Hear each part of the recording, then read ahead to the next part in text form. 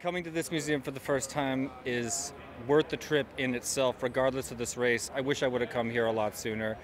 Um, it's amazing for me walking around this morning, I realized that so much um, flight innovation has come out of the United States Air Force. It's one of the leading uh, innovators for flight, period, ever, period. And that's an unbelievable thing to recognize. Looking around, and this, this is one of four or more gigantic hangars that are Tetris full of incredible planes. And like there's one over us right now. I've never seen that thing. I had no idea that existed.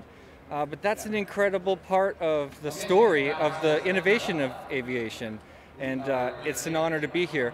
The other thing that I find amazing is I, I know that some people say, Jesse, are you a, a real pilot or a drone pilot?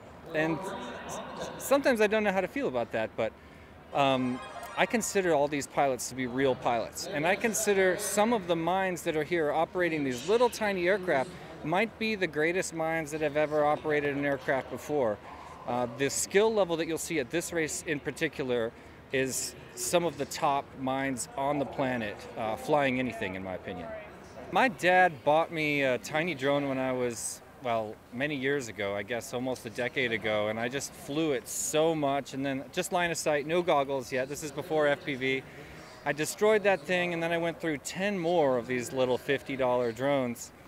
Uh, and then I found out FPV existed, and everybody was doing it on these larger drones, but me and a bunch of pilots that were traveling to races around 2015, 2016 uh, decided we wanted to FPV these little tiny drones uh, at, that, at that time, I was a member of a drone racing team called Big Whoop, and we decided to call these little drones Tiny Whoops, and that's how that whole thing started. And it just caught on like wildfire, wildfire. Partly because all of my friends that helped me develop the idea were sort of community leaders around the country and sometimes around the world. So they'd go home and tell their entire local community about Tiny Whoop, and that just made it really start to snowball.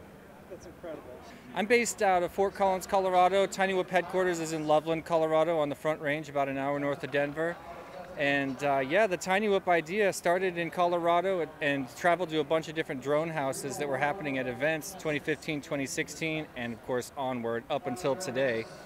Tiny Whoop has had a huge advantage for a lot of reasons. First of all, it's the safest drone in the world. It's also incredibly accessible, it's cheap, it's really easy to get into compared to bigger drones, and it can give you the completely immersive gift of flight. And that's what people are falling in love with. It's, it does feel, once you get used to the controls, which takes a little bit of time to get over a learning curve, but then, you know, it becomes second nature and it almost feels like you were always meant to fly. And that does want you, make you want to try to get into a career where you can exercise that gift that, that feels so natural now. So yeah, people are coming out of Tiny Whoop and going into real estate photography. They're going into nature photography. Uh, one of my favorite Tiny Whoop pilots just got done filming with David Attenborough for the BBC. Um, the very first pilot I ever sponsored, Jordan Temkin, went on to win the Drone Racing League two years in a row, and now he's working with all kinds of uh, documentary companies filming in the mountains, and it's a, it's a perfect place to start if you're interested in getting into drones.